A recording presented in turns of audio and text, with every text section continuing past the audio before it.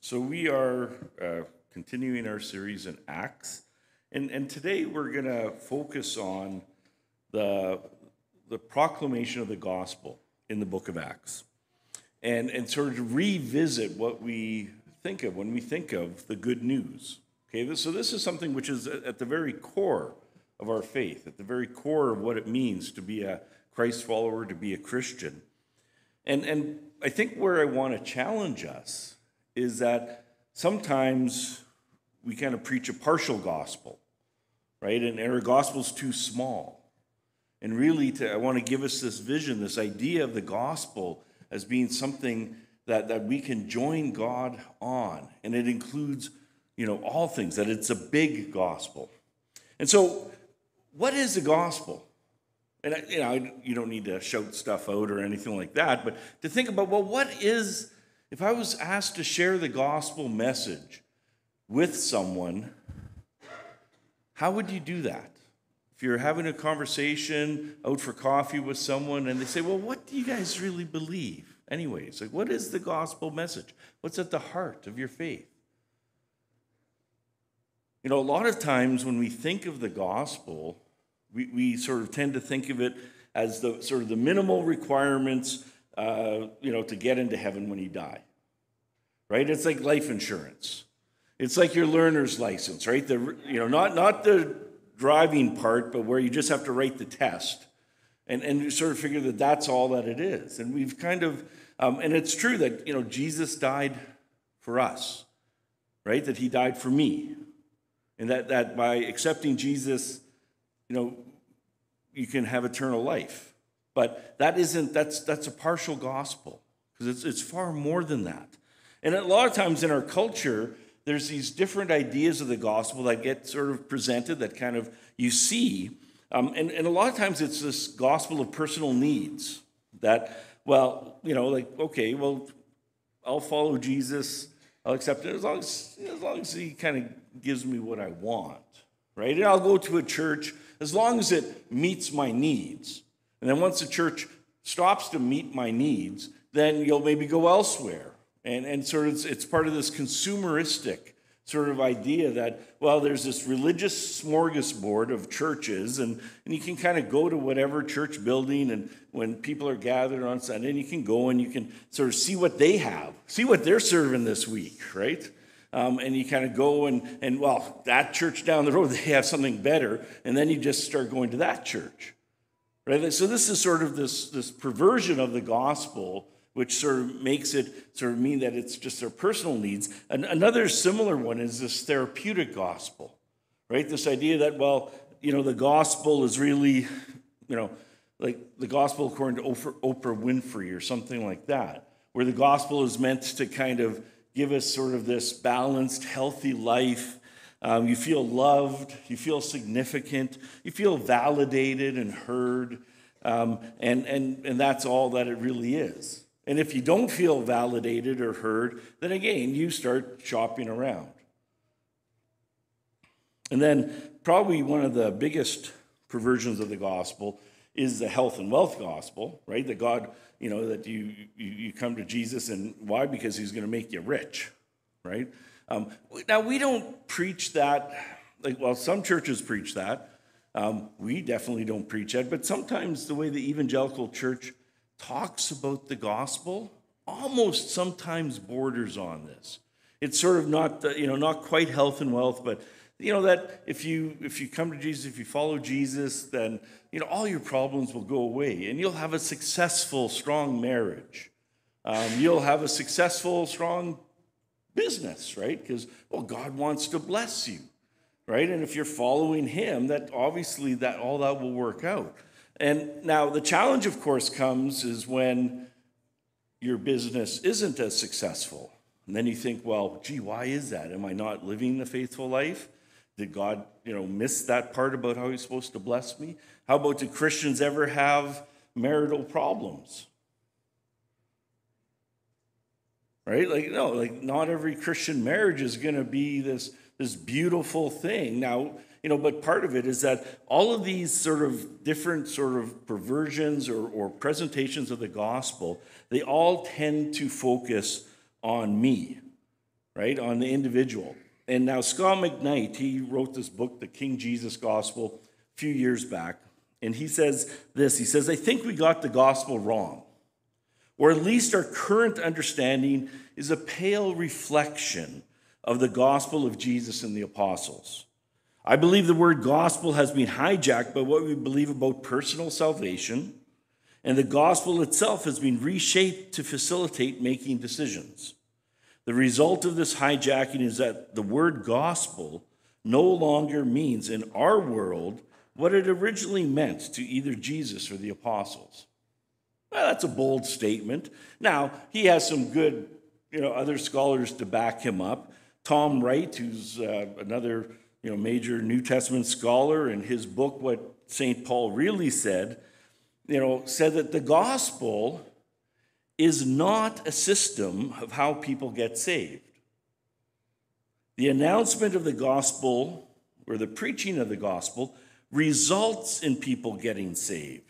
But the gospel itself is a narrative proclamation, the preaching of King Jesus, that Jesus, the crucified and risen Messiah, is Lord. And so, you know, it's not that our gospel you know, sometimes how we think of the gospel is totally wrong. It's only that it's partially right. There's more to the story. And I think this is what both Tom Wright and, and, and uh, Scot McKnight and others sort of are highlighting that it's, it's, we need a bigger picture of the gospel and what God is doing. And so the challenge with all these different ways of understanding the gospel is that they individualize it, right? They make it the Jesus for me gospel right? That it's just about me and, you know, whether my health or my personal satisfaction or, or whatever. But it, it's really that the gospel is far more than just about me. It's about what God is doing in this world. It also sort of takes it out of its context and, and, and abstracts it. You know, in this, you know, from the biblical and historical context. One of the things that, that you'll notice that whenever the gospel is preached in the book of Acts, it's never just starting with you know the, the here and now, but it also highlights what God has been doing through history. And there's lots of scripture that are quoted as being fulfilled in Jesus and all this. So it's something which needs to be connected, you know, to what God is doing in the real life history of his people in this world that we live in. And so this is something which is similar where, I don't know if this is a word, it destorifies it. Right? That, that when you think of it, like the mission of God or the Missio Dei is this idea of what that the culmination of this, what God has been doing in the world was, was sending his son Jesus. And that this story continues in the life of his church. And that's what the book of Acts has been highlighting all the way throughout. And we're trying to tease this out as we go through Acts is how is God still at work through his people, through the power of the Holy Spirit? And so we're part of this larger story. But when we just sort of abstract the gospel and say it's just about me and me and God and just about, you know, you know, personal salvation, that we kind of miss that picture. And it also, this is probably one of the one of the saddest realities, is that it creates this unfortunate break or gap between salvation and discipleship. Right? That it, it, sort of almost creates them as two separate things.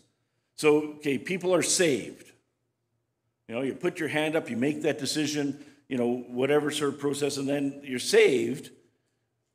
And then sometimes, well, yeah, discipleship is an option, I guess. But really, if we, if we understand it as well, you're following Christ. And yes, there's this moment where you decide to follow Jesus, right? Where you decide to, you repent, you turn 180 degrees from all the other stuff that you focused on, and you start following Jesus. But that's not the end of the story, right? That's just the beginning of the journey. And the journey is one of a life of discipleship where God transforms us and changes us into the image of his son, and we live life, you know, as, as God intended it to be.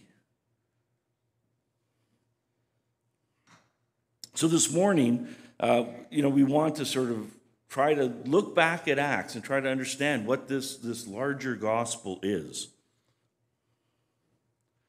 And so, you know, we could look at Jesus' teaching for the gospel, right? But we're in Acts, so, you know, it's still Jesus' teaching, but uh, we're going to focus more on that. We could also look at the gospel according to Paul, right? And of course, in 1 Corinthians chapter 15, he, he highlights it. He says, For what I received, I passed on to you as first importance that Christ died for our sins according to the scriptures, that he was buried, that he was raised on the third day according to the scriptures, and that he appeared to, to Peter and then to the 12, and, and so on.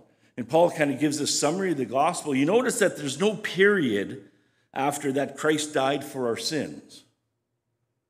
But the, the sentence actually is the first, it's one sentence in the Greek where from, you know, right from verse 3 all the way to verse 9, it's one sentence. And, and this is the full gospel. The other thing that he noticed from Paul in this passage, is he says, Well, what I received, I also passed on to you. And that the gospel wasn't something that, that you know, that Paul just made up, but it was part of the received tradition, the received sort of proclamation of the church. And so today we're going to look at the gospel in the book of Acts, because here we have the story of the early church. And, and so we can see how, you know, throughout it, how these different individuals preached the gospel and sort of what it contains. So, so the sermons show how the first Christ followers understood it, right? And how they preached it. And now there's a number of uh, passages, you know, in Acts which sort of summarize that. You know, we've there's Peter on Pentecost, which we already looked at um, when Stephanie preached a few weeks back uh, Peter at the temple. And that's what we're going to focus a little bit more on today. But then you have the, the sermon, or what Stephen said when he was facing martyrdom. Uh, you have Peter to Cornelius. Uh, you have Paul in Antioch, where he kind of gives this presentation of the gospel, and then Paul in Athens. And so there's actually about 13 different speeches in the book of Acts.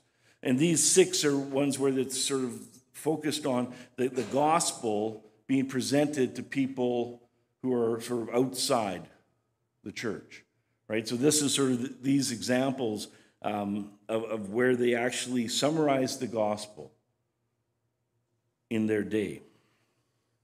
Now, I remember doing this paper when I was a young wee lad. Um, and you know, like I'm, it was during my undergrad, so that's like you know, that's a long time ago. Um, and I did it on the kerygma of the early church.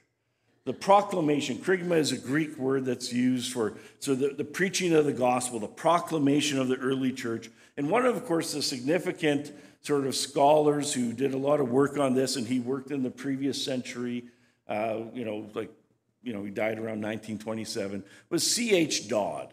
Okay, so he was a British scholar, uh, New Testament scholar. Um, and he sort of summarized uh, the proclamation by six main points.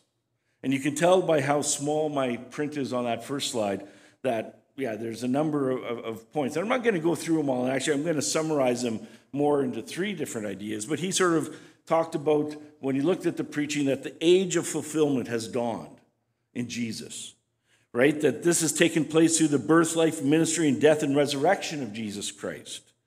By virtue of the resurrection, Jesus is being exalted to the right hand of God. The Holy Spirit in the church is a sign of Christ's present power and glory. The messianic age will reach its consummation in the return of Christ. Right? So, right now, we're in this in between time between the first coming and the second coming. Um, and then, then an appeal is made for repentance with the offer of forgiveness, uh, the offer of the Holy Spirit, right? To be filled with the Spirit, um, and, and of course, salvation. So, this is how he sliced and diced it in terms of understanding the gospel, you know, as presented throughout the book of Acts. And today I want to sort of, you know, highlight three sort of different ways or three sort of, I want to summarize his points in three main points. And probably the first one is that the gospel is always God centered.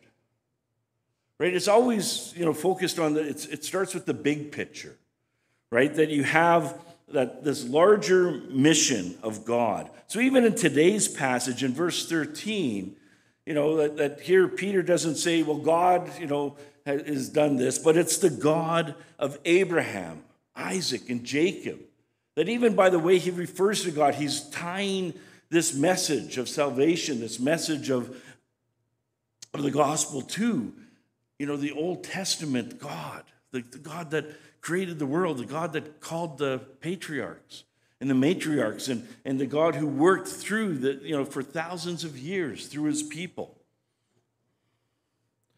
That he understands the gospel story is Jesus resolving the story of ancient Israel. That, yeah, it is all about Jesus, but Jesus is the culmination of what God has been doing. So it's sort of something which is part of this larger story of God. Right? And that's sort of important to sort of see it in this larger context. Because then it sees what, what God is, what, you know, the beginning, and then it also continues and sees how it's going to end. And that's something which, you know, I know we talk about going to heaven a lot. But if you've been around Greenfield and heard me talk about it, I'll say, well, it's really talking about, you know, the new heavens and the new earth, right? This wonderful vision that we get at the end of the book of Revelation, where you have heaven coming down to earth and God dwelling among his people. You know, that, that the goal isn't that we kind of, you know, get to be disembodied spirits flying around in the clouds with wings and eating Philadelphia cream cheese, right? That's not our goal, right? But rather that it's this embodied existence in our new resurrection bodies with God here on earth, where God dwells with his people in the New Jerusalem. And, and the thing that you see always, because what this, this God centeredness and this focus is that there's this, you know, often they are quoting how the scriptures have been fulfilled, how the, this, this faithful God who called Abraham, Isaac, and Jacob, that how he has been working faithfully throughout history. And that this is, this is all happening according to, to his purposes, and that it's fulfilled in Jesus. So even in this passage, you know, that here talks about how the Messiah would suffer, right? And this idea of a suffering Messiah comes from Isaiah 53. So there he's alluding to this whole idea of the suffering servant that'll come and die on behalf of Israel and die on behalf of everyone. He, he sort of also talks about the prophet like Moses, where in Deuteronomy chapter 18, that, that you know, here you have Moses saying that, well, I'm, I'm gonna, God's gonna send you another prophet like me in the end days right? And that he will show you, you know, how to live in. And so you see this is explicitly quoted and saying that it's fulfilled that this prophet like Moses is Jesus. And he blows Moses away. You know, he's not just a prophet, but he's prophet, priest, and king, and Lord and Savior. And then, of course, it, it you know, and this is a passage that is often appealed to again and again and again throughout Scripture, is the promise made to Abraham. You know, that here in this in this sermon, Peter, you know, quotes this that, you know, God called Abraham, you know, and that it was through Abraham that all the families of the earth will be blessed. And, and this is something which then we see is fulfilled in Jesus. And to continue to be fulfilled through his people, through the church, right? As we live obedient lives following Jesus and blessing all people, you know, through Jesus. And that's something which, you know, Paul highlights in Galatians and a number of places in the New Testament that that is sort of a fundamental idea, you know, of the gospel, but that, that God is fulfilling this promise made to Abraham, uh, or Abram at that time, and that this now is fulfilled in Jesus and continues to be fulfilled through his people. So it's God centered. And of course, it is Christ focused as well. The, the, the, gospel, you know, that obviously everywhere in the book of Acts where, it's, where you have the preaching of the gospel, it talks about Jesus. It connects the story of Jesus, however, you know, in, in not just his death, but in his life his ministry, his teaching, You know, and how that was, you know, that's a piece of a one cloth, that's one cloth that then is culminated in his death, but then not just his death. It's not just that Jesus died for us, but that he was resurrected to new life and that he's coming back. Sometimes I think that we've reduced the gospel to Good Friday. We've reduced the gospel to just the cross. And while the cross is at the center, at the very heart of Christianity, that Christianity is more than just the cross. It's not just Jesus crucified, but it's Jesus crucified and raised to new life. And as our, our current Lord and Savior. In this passage, you see Jesus proclaimed as God's servant, which is again drawing upon this Isaiah 53 idea. You see uh, Jesus referred to as a holy and righteous one, whereas the Messiah, the Christ, which, you know, sometimes when we just refer to Jesus as Jesus Christ, we forget this idea that Christ isn't his last name. Right? But that's the title, that's he's the Messiah, the long awaited Messiah of Israel. And yes, I will take a drink.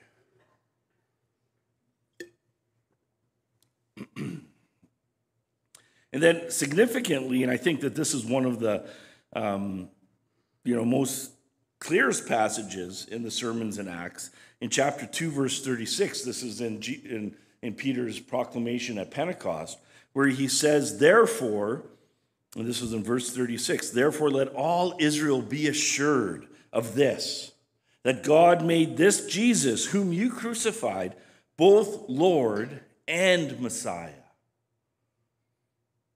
That both Lord and Messiah, not that we can just pick one or the other. And then, of course, all these sermons in the book of Acts, including, you know, chapter 3, uh, they're response oriented. That there's always sort of some sort of call, summons to respond, you know, and enter the gospel story and join God on mission. So it's not an individualistic someone, well, you know, come and, and, and you know, have your sins forgiven and be, be good to go. But instead, it's, you know, come and follow me. Like I think of Jesus when he, you know, in all the Gospels, he's presented as, as summoning his followers and saying, you know, repent, you know, and, and come follow me. You know, uh, you know, join me on this life of yours. And that starts with conversion, but then it continues on throughout our whole lives. That our whole lives are supposed to be lived for Jesus and following Him. And following Jesus means that we're kind of living the life that we figure that Jesus wants us to live and to be concerned for the things that Jesus is concerned about.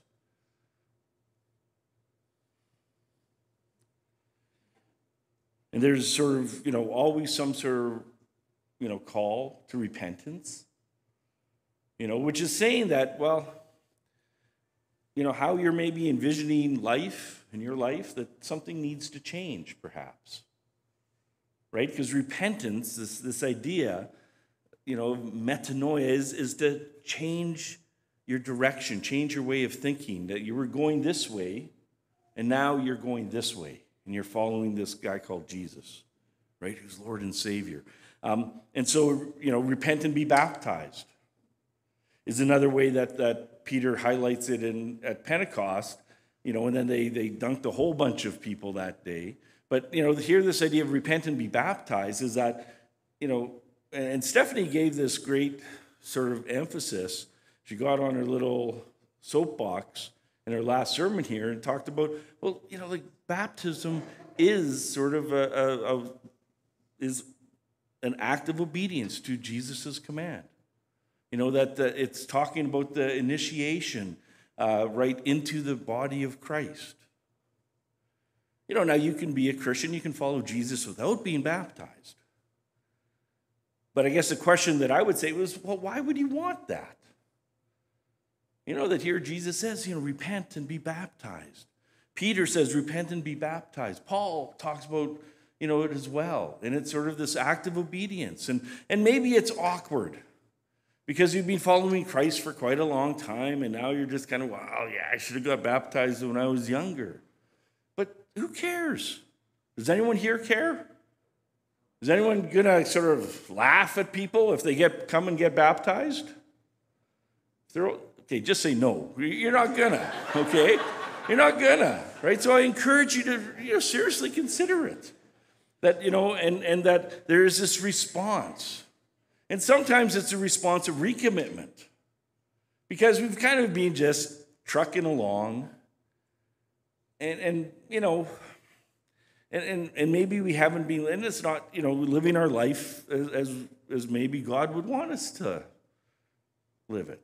And so that's where it's time to, you know, where we talk about recommitment. You know, and at the end of the service, we'll have time for prayer. And if you and if you want someone to pray for you, and just said, you know what, I, I feel I really do want to start living my life and following Jesus. And all that that entails, right? And we don't always know what that means. And it's probably a good thing at the beginning we don't know the full, full thing, right? God gives us enough to respond to, you know, in the, in the time that we have. You know, so these are the sort of ideas about how the journey starts, right? To, to repent, to turn to God, right? To have faith is another major way that, especially the Apostle Paul talks about it. And this life of faith is something that, that is, you know, and I don't want to oversell it and say, oh, it's the best thing since sliced bread, but, but it is. That doesn't mean that everything's going to go great for you.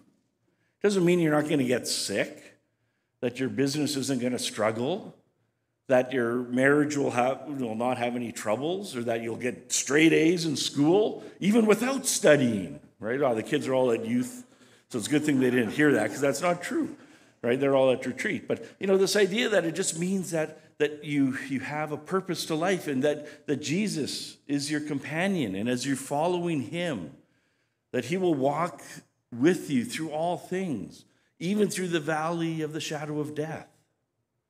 Right? That He's a good shepherd.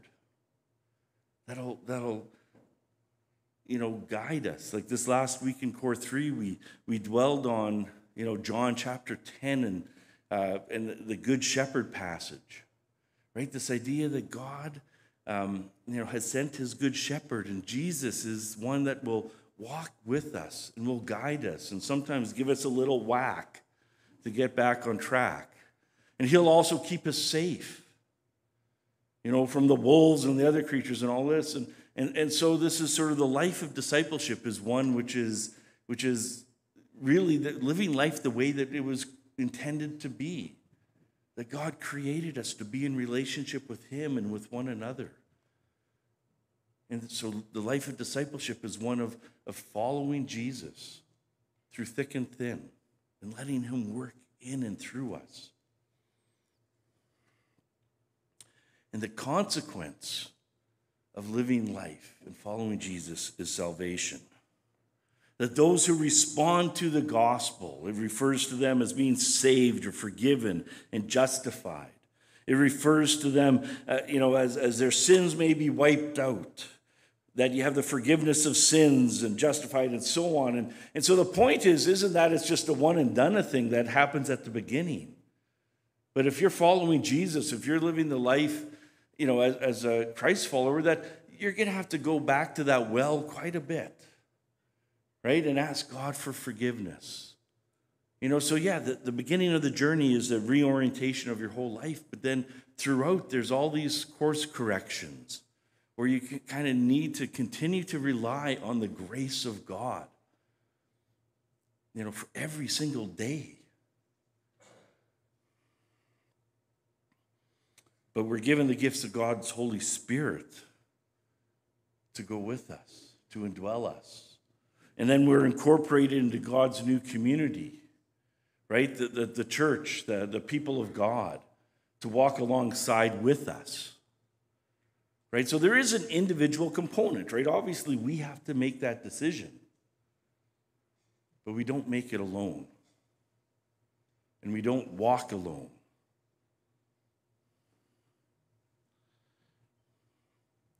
One of the images I, I really like from the book of Acts when it describes the, the first sort of description or term that's used to refer to the, this, this sort of early Christian movement, they refer to it as the way, as following the way. And what I like about that is that it's not just talking about making a decision, but it's following a way uh, of, of, it's a way of living life, right? And it's a life lived, you know, centered on God's mission, plans, and purposes, you know, which is should blow our minds, right? That God wants and invites us to join Him on mission, you know, in this world. It's a life lived in faith, right? In the saving death and the resurrection of Jesus and Messiah, both Lord and Savior. And it's a life lived faithfully, right? You know, that it, it, it faithfully loving God, one another, and our neighbors. Know, that's, you know, echoes our mission statement. And I say that a lot. I don't apologize for that, though, because I think that really is at the heart of what it means to be a Christ follower. Right? Is that, that this is this life that's centered on God and what He's doing in the world, and that He invites us, He calls us, you know, to join Him. And that's possible through what Jesus has done on the cross that we can be saved, we can be redeemed, we can be reconciled, we can be healed, all these sorts of rich terms that talk about what God has done in Jesus, that that you know can be ours as we recognize him as Lord and Savior. And then that leads to a life a Holy Spirit filled life of loving God and growing in that relationship with God.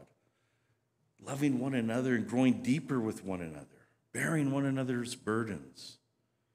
Like really loving, like, you know, signing up for meal trains is a very practical way.